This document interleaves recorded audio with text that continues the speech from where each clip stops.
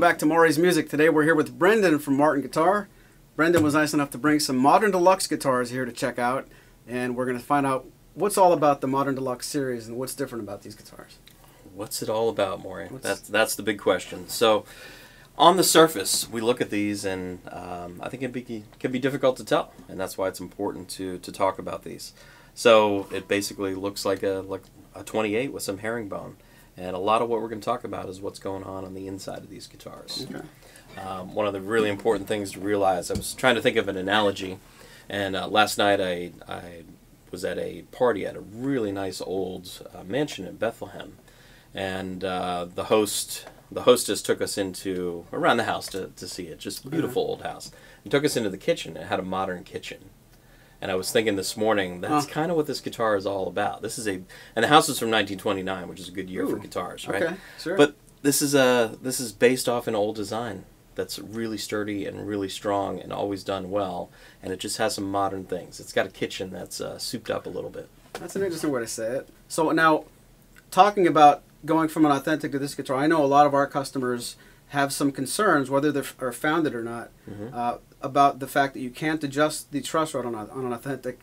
Does this become that guitar for customers who want an authentic, but the only thing they're not comfortable with is the fact that they can't adjust it for humidity and temperature? Can you speak to how this is different? Great, great question, and uh, I fully agree. I know that people do have concerns about that. I've talked to customers myself who are concerned. Ultimately, temperature, humidity, and guitar maintenance come into play when you have an authentic or a Yeah. vintage instrument, um, even more so than than an adjustable instrument. Uh, but that is definitely one of the advantages here that you have a lot of authentic features. You have some of the DNA from an authentic Sure. instrument, and we'll get into some of those points. But you certainly have adjustability with the rod. So we touched on the adjustable truss rod. What is different about the glue uh, used in this guitar? On this guitar, great, great question. So the the top and the bracing were done with a with a protein glue, and again, we're bringing in features from the the authentic series. Mhm. Authentic series guitars are specifically hide glue, and we won't get into all the details on on what these glues are specifically, but hide glue on the authentic. Um, there's a little bit more affordability in using the, the protein glue on the top and the bracing. Okay. And that's really where you want that glue to react and, and bring the essence of the top out. That's really important. Okay, and how does that contribute to tone as far as when you when you speak about how the guitar is put together and if Mhm. an authentic if if we can agree and that's the big if if authentic is made the best way with authentic hide glue construction throughout Mm-hmm. and going backwards to standard series being none where on a scale of 1 to 10 where would you put the importance of the fact that this guitar's got an upgrade in the right places as far as the protein Great question. So if we, if we talk about that scale and when we're saying an authentic is a is a 10, Mhm. um, I'd put the, the protein glue on here at a, at a strong 8. Oh, really? It's it's really close. Yeah. Okay. Now there there are differences in the two guitars and if if we did a uh, ABC from, you know, OM28 OM28 Modern Deluxe and an OM28 Authentic, Sure. we would certainly hear differences, and there and there's value in getting into the Authentic series. But again, it's a little bit more expensive, and, and you don't have the adjustability. right Um, this this glue that's on this guitar is just really it's in the right place. It's it's on the top. okay Um, it's not the whole instrument, and that's where part of it becomes less expensive. And the type of glue that we're using here has uh, been used. Uh, violin makers have been using it for a long time. oh wow uh, repair people as well. So it's not it's Huh. nothing new. It's a little bit new to the guitar world, uh, but there are some luthiers have been using it for a couple of years Okay. now. We talked about the truss rod. We talked about uh, the glue. What is that? What is this thing? This is a carbon fiber bridge plate. So this is definitely different from what we've we've done in the past. We've experimented with some carbon fiber. Having it on the bridge plate creates a really really stable bridge plate. Uh, traditional bridge plates are are maple. Um, most of what we're doing right now is maple. There's stuff in in history Okay. that's different, but Yeah. let's let's just say maple versus this. Not going to talk about the big rosewood. thing. Not today. okay. Another time. But there is some wood in here, and and I think that's one of the really important things in showing this and talking about it today is that people understand it's a it's a little sandwich. It's a carbon fiber sandwich, Okay. and uh, certainly don't want to break your teeth on it. But there's some good Adirondack in the center there. So you get Adirondack coupled with the um the carbon fiber on the outside. Huh. Really, really strong plate. Um, stability under the bridge, uh, that's a little bit different than a standard maple plate. Also, longevity in the holes. And um, so it takes a long time to do this, but especially if you're not stringing your guitar properly and making sure those ball ends are seated, Oh, you start to wear on that plate a little bit. sure. And over an extended period of time, you're going to get a little wear under there. So this is Huh. really going to hold up for a long time. Is it a dumb question to ask if there was R and D involved in the reverse of that or different? Like I, I don't know enough about that to know why Adirondack would be in the center. Mm-hmm. Did they, they did you guys try Adirondack fiber Adirondack? Were there were there other uh, roads to, to where you got with this? that- Good question. I, I'm sure there were a lot of um, iterations of this, and Yeah. and you know it's funny these things that we talk about and we see on new guitars they take years to come out with, so it doesn't happen overnight. Um, having not been in R and D during that time, I don't know what other materials were, were utilized or if the opposite Okay, effect was yeah. done with carbon fiber. But I'm sure there, sure there was a lot of research Huh. into this being the the most compatible method for creating the bridge plate with carbon fiber. So that's more of a Tim Teel question, maybe. That's a Tim Teel question. we'll get him another time. And uh, I, I gravitate towards this next question you'll probably see coming. Mhm. Uh, one of my favorite pickups, my very favorite acoustic pickup these days, is the Trance Audio Amulet. hmm Uh, K&K is another popular one.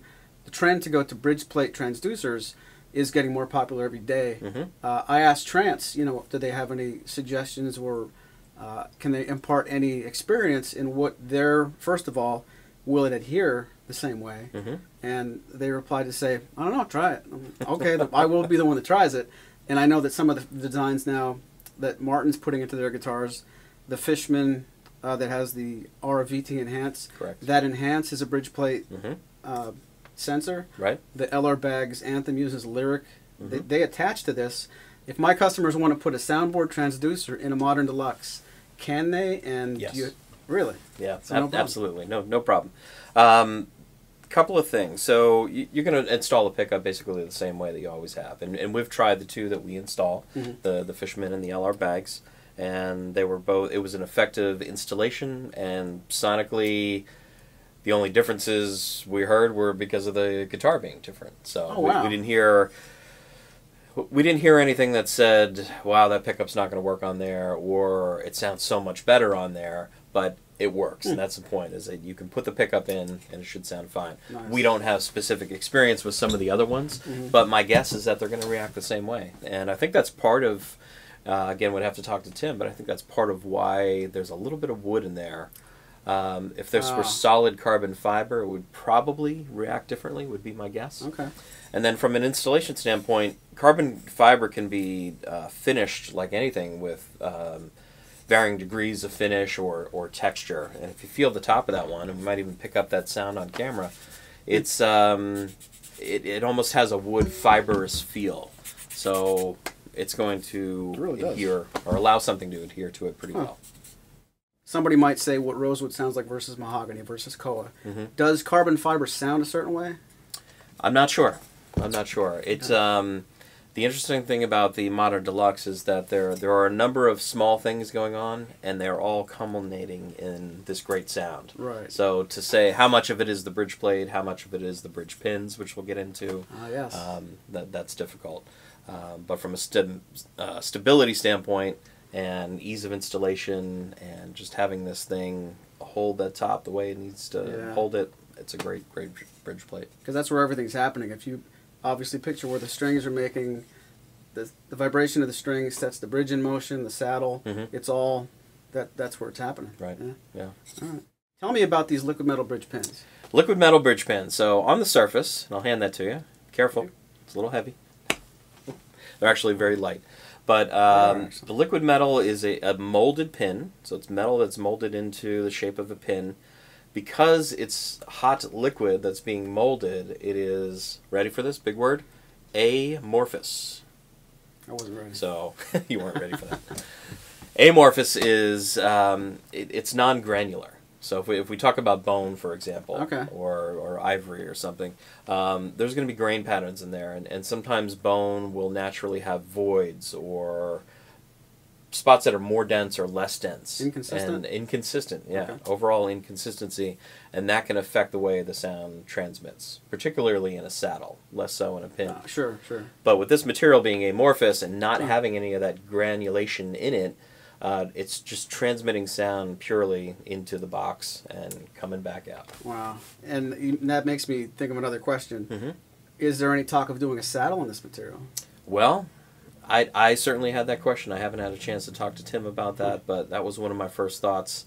Um, I, I think that's already being investigated. Yeah. Oh, I'm sure it is. Mhm. As I asked it, I thought I, it's probably weeks away. But Mhm. Good that- question. And I, I've from speaking with Tim and reading up on these, uh, I think I understand correctly. These when you hit them with sound, they don't absorb the same um, or maybe almost a negligible negligible amount if you strike, you know, a string with a plastic pin or a bone Mhm. pin.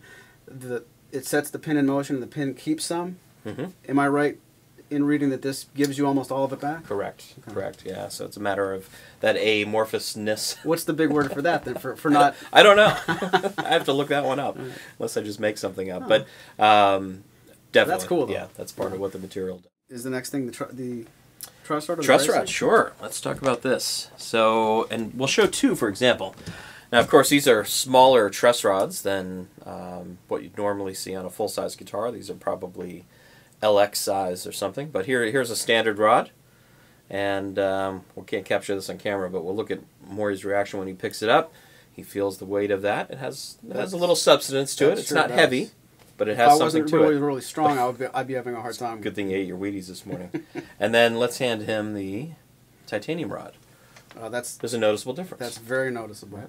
That's a little more noticeable than I expected. Mhm. Actually. so that transmitting to how the guitar feels in your hand Hmm. and the ability to do this new neck shape that we'll talk about all comes from that rod.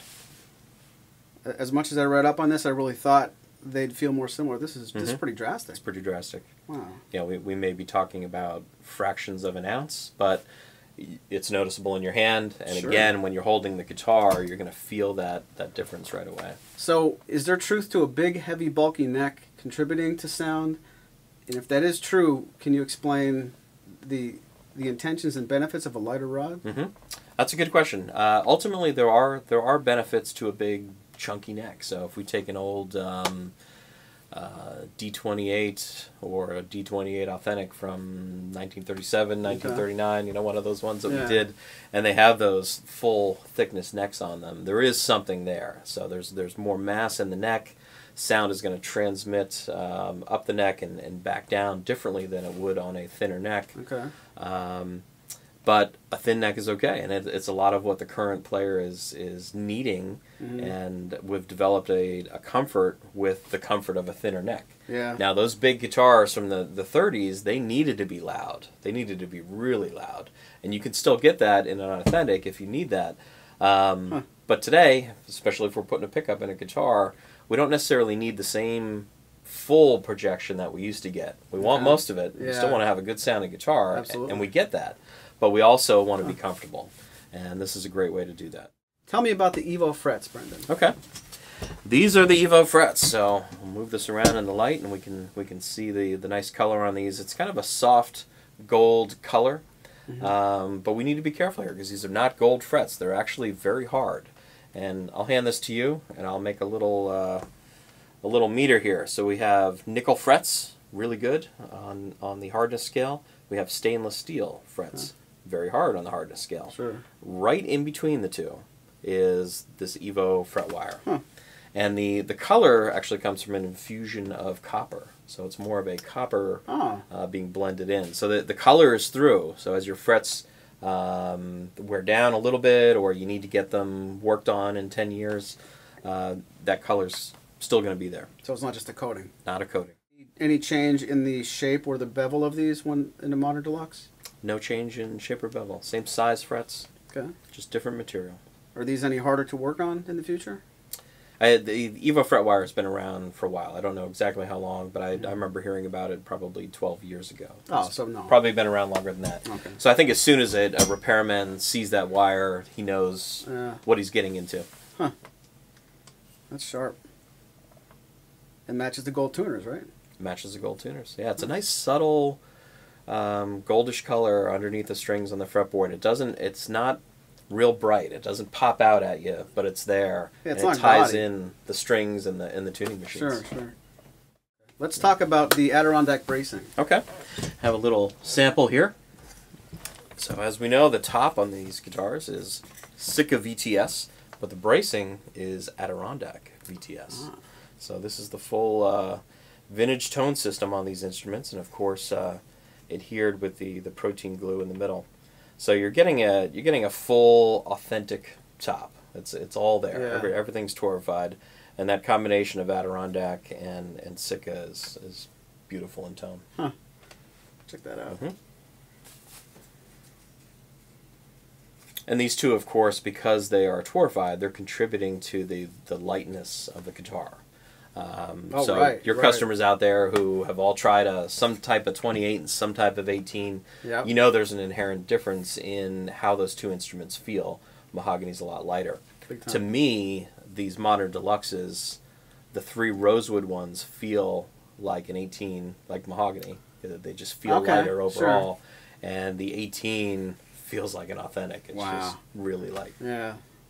All right, we talked about the truss rod, the Evo frets, the protein glue, the bracing, the VTS top, the VTS braces. I feel like we're forgetting something. We are. There's, there's one really important feature on here um, that is probably contributing to the sound a little bit, but more of an aesthetic, Okay. and it's the fact that there's maple binding on here. Yes. This is something that we don't, we haven't normally done in any of the standard series. This has typically been reserved for customs and special editions. Now I have, by the way, um, from the retired John Marshall, I have a D18MB. Oh, really? And I think it was from the mid 90s, and it was probably just a special run Ooh. maple binding guitar. Really? So that's the only one that I know of that Huh. was kind of a standard series that had maple Sure. binding. But again, typically this is a custom shop feature Huh. um, that you're paying a little little extra for, Oh, yeah. extra premium. So it's part of the package here. Hmm. And um, again, with the, with the glue and the sound transfer for, from top to back, having a nice hard material on there is a is a bonus, and it looks great too. So, real quick, run down when you're going from a standard series. Mhm. What are the benefits? Why would somebody go to a modern deluxe? What do they get? Right. Um, mainly, you're getting you're getting tone. You're getting a tone that's much different, and, and when you get the opportunity to play one of these guitars, you you realize it. And hopefully, we can translate that a little bit on on video. But you get this thing in your hand, and it's just it, it's an incredible tone. It, it rings. Um, there's great sustain, wonderful clarity and balance. But the other thing that you're getting is a really, really comfortable guitar. So it, it it's not a guitar, not that, that any guitars necessarily are, but you're certainly not fighting with this one. Mhm. It's giving you something back, and that contributes to the overall experience of playing. Um, the other one that we we didn't touch on, and it's a good thing we talked about the binding and the overall experience of the instrument, is the neck shape. Oh, right, So- right. This has the OM45 Deluxe neck. Yes, yeah, that's that's really important, and it's um, it's subtle and it's unique, but it's one of those things that when you get it in your hand, you say, "Oh, yeah." I, I feel like right here the shoulders are very, very skinny, hmm and it's not true everywhere else on this neck. I feel very differently about this neck here than I do here. Is it my imagination, or is that a, is that different about these guitars? Because I don't remember a lot of other Martins where the impression I get at the tenth fret is very different from the first fret. hmm Is Sorry, folks, Maury's gone crazy. no, you're you're absolutely right. There, there's something a little bit different going on here, and it was based off of that uh, guitar that's in the museum. So it's a uh, first of all, it's a uh, performance taper, so it, it's very consistent all of the way down. You get that comfort level, but you have a, a very slight. I'm almost cautious to even say V because this isn't a V neck, uh, but it does have a little bit of a little bit of a V nature here, and it's asymmetrical. So what you're feeling, and you're exactly right, Maury, is that uh, it favors the bass side.